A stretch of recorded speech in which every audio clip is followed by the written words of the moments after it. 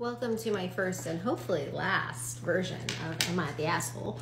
For those of you who don't know me, my name is Billie Tarascio, Arizona, family law attorney and owner of Modern Law, and Twitter and Facebook certainly thinks that I am the asshole.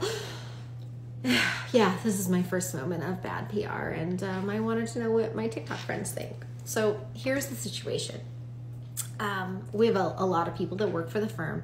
One of them is a managing attorney of mine. Her name's Kylie, and she's worked for me for a long time.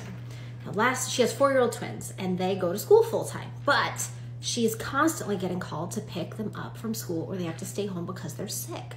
This was a huge problem for her last year. So one of the things that we decided we would do this year is we would hire her a legal assistant who could also go be a child care provider so for that person would assist her with her legal duties and you know entry level position to learn how to be a legal assistant. But if kylie's kids got sick that person would stop being a legal assistant because kylie already has a full-time paralegal and she would go pick up the kids and help watch the kids so that kylie could still do kylie's job as a managing attorney. Now Twitter and Facebook think that, that this is absurd, that this is sexist, that it's not very modern, am I right? That what you want to hire a mom, and I think they're wrong. I think that moms have to juggle and dads have to juggle parenting and professional responsibilities all the time. And it doesn't make sense for Kylie to have an on time on call full time nanny while she's also paying for her children to be in school full time. So, I, as a modern employer, am helping her solve this solution in a way that I think is super progressive. But you tell me if I'm the asshole on this because Twitter and Facebook don't think so.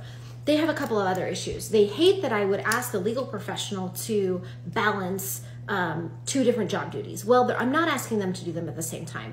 If Kylie's kids need to be watched, then they are relieved of their legal assistant duties because she doesn't actually need a legal assistant. I'm just trying to solve her problem. The other thing they really don't like is the pay range, which was listed at 14 to $24 an hour on Indeed. Now I changed that to 20 to 24 because we don't pay anyone under $20 an hour, but still, that's absolutely offensive to them. So tell me, what do you think? Am I the asshole? Would I be better off telling my lawyers to just figure it out on their own because that I, their employer, don't care enough about them as a human to solve their whole problem? Or am I right? And this is a super progressive, super great way to handle your employees and invite an entry level professional from childcare into the legal world. Let me know.